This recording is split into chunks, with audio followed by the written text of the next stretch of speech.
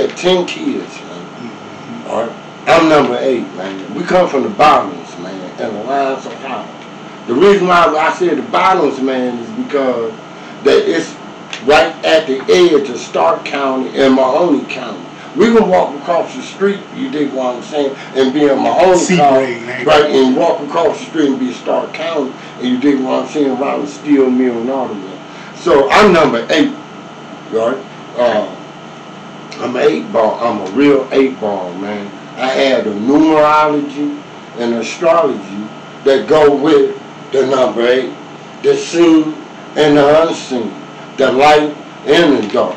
You dig what I'm saying? When I was when I was born, when I was little, I was off the chain. I'm the one that introduced. My mom had ten kids, and our next door neighbor, their grandmother, they had ten kids, and this burn that's in my arm is so old that it blended in there. That that burn represents 21. Cause we had 10, they had 11, and all our ages was in step with each other, all the way up to all the way down. Mm. So you do. So I represent 14 brothers. I got 13 older brothers, and I got six older sisters with their family and my family. That's how we grew up. I know my mama. Who you had younger than you? Now, my two sisters, my baby sisters, I ain't had no baby brother. I had to adopt baby brothers. You dig what I'm saying? I am the baby brother. You dig what I'm saying? Mm-hmm. And the way we grew up, man, we were banging all the time, man. Mm-hmm. All the time. But anyway, that made me off the chain. So they like my wild ass right? That they rocked my wild ass up. Yo, but as I was growing up, seriously, man, I had a way, man, talking to the animal with the dogs and shit, man. And it got to the point, man, like it was a junkyard dog, it was so vicious, man, that down the street that we ended up going to get to. That was the name of the dog. Man, he was a husky, something else, man, he was ferocious. But anyway, so I talked to that dog and I talked to other dogs. And so when I was young, they called me Junkyard Dog. When I was young, they called me G-Vibe. My father named Levi. But I went by G-Vibe so bad, I was, you know what I'm saying, I grew in my position. And sometimes they just only called me G. They called me a G when I was little. You dig what I'm saying? So when I became Junkyard on the street, my brothers named me Junkyard. But you know, but I ended up going to Mansfield. You dig what I'm saying? Back in 1980, man. And at that time in Mansfield, you can't talk your way through it. You got to bang. You got to bang the line. And that's simple as that. But anyway, when I was in like orientation, you dig what I'm saying? And, dig, and when it was time for me to demonstrate after I got done the penitentiary, them niggas, uh, Pablo Cook out of Youngstown named me Junkyard. So I was named Junkyard twice. So you said, what kind of name do I go by? Well, my mom, you know, introduced me as Sheldon. You didn't want to but I grew into a G vibe, a G, a junkyard dog, and named a junkyard dog again. And when I was in there in the penitentiary, you didn't want to I met Yusuf out of Cleveland, man, and became Umar Il Katalu Muhammad. I had to grow into that name. Mm. That name just wasn't, I didn't just raise my hand and say, my name was Umar. No, I, my personality and the way I ran myself and conducted myself in the penitentiary, you dig what I'm saying? You know, gave me my name. You know what I'm saying? That El Katalu is those who fight and those who kill because I'm always banging up in there. I banged up in there so I can have peace. I run the store. You come to my store now, I got you, man. So that's why my position was Minister of Defense, Minister of Finance. You didn't want to take that's my money, all these motherfuckers on me. You know what I'm saying? And with that money, we used that money. All the brothers, you know what I'm saying, came around us, man, filled their locker boxes up, put money, you know what I'm saying, in their pockets. And for the first time, then they started having something, learning something. You dig what I'm saying? But this what happened. By the grace of God, I was so violent that I had carte de blanche in the penitentiary. As a junkyard dog.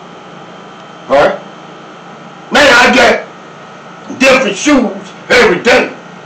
Sweaters every day. Penitentiary sharp. Cell plus. Niggas on me. Because of that, of my position, I learned. I learned how to deal with people. I learned how to be a man among men. And I learned how to be a man of with compassion. So I went to school.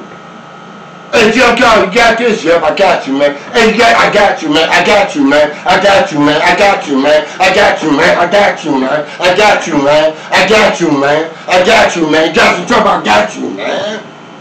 That's how I grew up in the time I came in at 15. London, London. So, with that kind of carte de blanche, I could walk anywhere in this motherfucker do what the fuck I want to do. I didn't exploit it. I didn't want to become like them. I didn't pray upon the weak. No. I took care of them. I had to have compassion. I had to have some understanding. A lot of people owe me. I had to deal with them. I couldn't stab everybody that didn't owe me. No. So I learned what happened. What happened? So yeah, I'll junkyard dog and I'll fuck your ass up. Get my money, man. Now with that money and with that experience, and then it got to the point where Umar El came in, I had to go to Luke. I had to go to Luke, man. When I went up in Luke, man, you dig what's under Yusef. See, I'm in second command. Yusef in first command. See, Yusef numbers 184 006. You know, that's my number. Yusef 184 007. You know why I went first? Because I was in penitentiary then I met Yusef. He met me. So I went to, to, to Lucasville, introduced Lucasville to my home. I grew up in here, the whole system. I made it. I'm baptized. I'm in. Man, you up in Luke, man, ain't nobody, you know what I'm saying, two ways. That's house.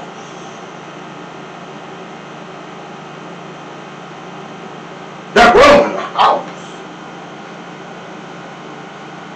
Everything you are, everything you was, and everything you're about to be is going to be transpired right here in Luke. Because we've been baptized. And I out of there. By the grace of God. And by the grace and the help of Yusef with it. Man, Yusef said to me one time, the greatest and the most misunderstood or the most underestimated understanding or knowledge is the knowledge of yourself. Once you begin to understand you, everything else God has put places and people and things in the first step so you can be an example and an outshine of what he wants to say from him to you. God himself. We deal with God himself. We deal with two things. Angel, demon, God, devil. Personally. When we deal in the presence of God. All of his glory. Demons there. Angels there. Creepy crawly things there. Everyone praises God. Everyone yearn and thrive and go back to God Himself, the presence of God. So, I found myself in the presence of God. Thank God. I'm a spiritual man. Thank God. He allowed me to see things. He allowed me to grow. He allowed me to get here to say this. Thank God. This ain't no prescript. I told you, bro. You got something wrong. Who else has done his own? I can't recoup or redo that. How? It ain't me. It's the will of God. This is how I do about the will of God. It ain't, I don't do nothing. Whatever transpired, whatever take place right before my very eyes, right before my very face, and all the tools that I have at my disposal, I deal with. And take me out. On the money I get, I share it.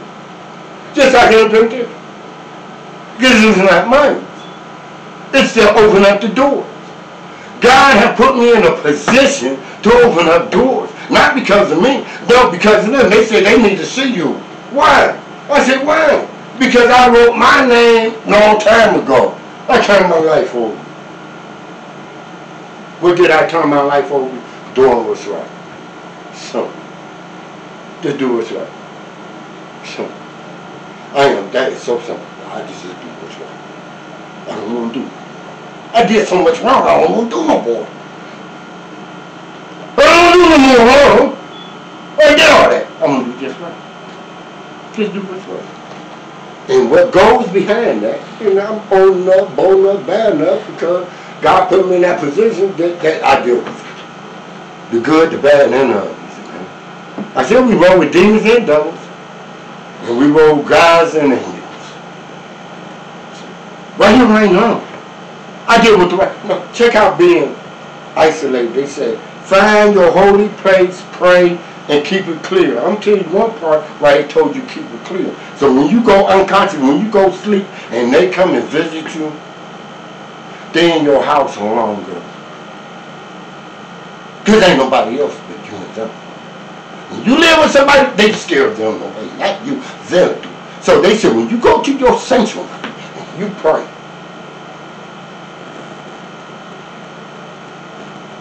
They will come and stay longer with you.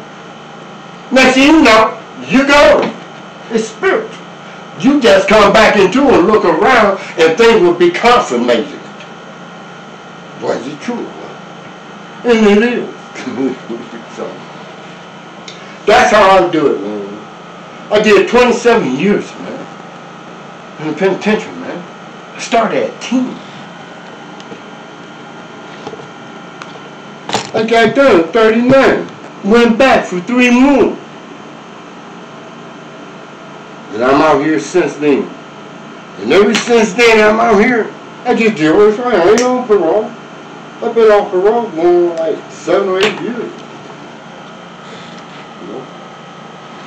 I got my own home, man. Got me a house, man. But I got a lot of help through the agency.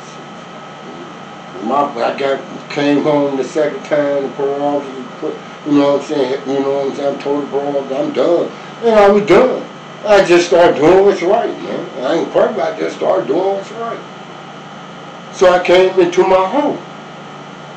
When I came to my home, now I cut the grass, I got an attic, I got a basement, I got two bedrooms, I got a nice yard, I got a fire pit. I cut deer grass, deer grass, deer grass, deer grass, and had two more today that they want to be on my payroll. And I don't cut grass for cheap. I ain't cheap. hey, I tell them. They said, well, I said, no, I don't cut grass for 10 15 dollars. No, I don't. What that time what you talking about? I'm going to cut it, weed eat it, and manicure it. When I get done, your grandbabies going out there and y'all taking pictures. So he said, how much you gonna do? Okay, now, okay. I said, hundred dollars. He said, oh no, okay, and I walked away. They said, oh man, you could have did that. I already got, uh, what you call, uh, that you do a paint for everybody to look Clientele. yeah, I got clientele and uh, uh one that uh, uh, exhibit. You, you want to look at look at that? I got exhibit. I, I, need, I don't need no more exhibit. Is that brother still over there? Uh, the brother Samuel Muhammad, he's still doing his thing over there? Well, I seen him doing like his black I'm not sure, but I just know when I passed him strong, you know, this is what I felt about him. All right, check this out, John. I'm 100%. I'm gonna give you 100% of me, man, so you can see. Then that way we can go forward. All right, 100%. I'm not playing. So with Brother Muhammad, I gave him 100%. So he said, go to Toledo with me. And go to the, uh, to one of them temples. the fuck I'm going to Toledo? Nigga, you want me to come to my house? I live right there. Fuck I'm going to car with you for? You want me to come to my home? Come to my home, huh? Oh, you smoke with me. You smoke with me. Nigga, get fucked with me. No, I'm still with you. See? Have a choice. I don't have to. How you doing? So I'm like, that's my brother. Hey, you know, you've been baptized in the fire. They ain't been Well, all I know is this. All I know is this. I gotta give you a hundred. I gotta give you a hundred. Cause look, man, I gotta put the back forward. That's how they playing us. Gonna made it. A lot of brothers said, man, I'm gonna live through you. I didn't understand it until now. They said, get out there and make it. I did it 27 years, man. They said you wasn't gonna make it. I ain't supposed to made it. They said, well, lock his ass up. They let me on parole as emergency. I was on emergency status. They didn't let me off parole after 24 years and said, Sheldon, you did a nice job. Hell no. it just so happened it was a fruit. They said, hey, you know, look, we kept you over 10 years that they even gave you, man. So you in, since you in Lucasville, you can't hold on Luke. You're going to leave Luke, you bring us up, going home. That's what happened. And they threw me right through my brother. I was so happy. No doubt. And from there, this what happened. It was like fire. I turned Columbus out. Man, my parole officer talking about what is you doing, Sheriff? I said, what do you mean? We got lawyers calling in on us. We can got halfway houses. Everybody speaking on we want to help Sheriff. Even though you came, they, you gave them your story and went around. So they want to post me up as a poster boy. Man, I swear it's a true story. They want, they offered me a thirty-two thousand dollar salary. I was going to deal with the halfway house. I was going to deal with guys that come out the penitentiary, and I was going to deal with guys that smoke.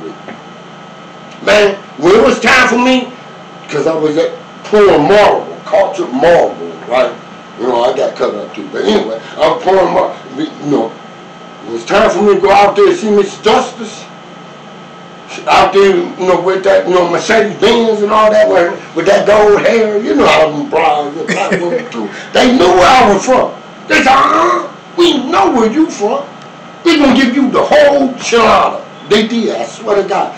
Franklin County, Columbus, they did. I swear to God they did. They gave it to me so fast, I was like, bam!